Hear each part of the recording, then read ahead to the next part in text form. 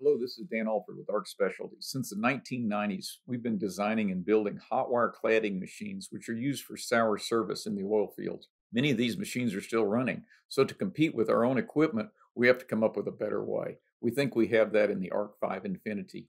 What we're doing is leveraging the six axis motion control of large industrial robots and then combining it with a seventh axis that we build ourselves. The problem with valve cladding is you have to have an infinite rotation wrist. You may be welding hundreds or thousands of revolutions within a bore. Normal robot wrist will only go maybe two revolutions before they stop. With the Arc 5 Infinity, the seventh axis can rotate as many times as necessary. What we're doing is we're conducting the water, the gas, the wire, everything through slip rings, which allows us total control over the welding process. In the early hot wire bore cladding systems, the part would rotate, and the torch would simply step up through the bore. This has a number of limitations. In the next generation of hot wire cladders, we're using a rotating torch. This does a couple of things.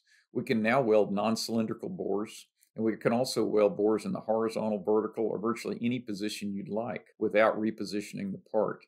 At the same time, we've retained our easy to use operator interface. You teach just a few points and the program generates the hundreds of stops and starts necessary to weld complex intersecting bores.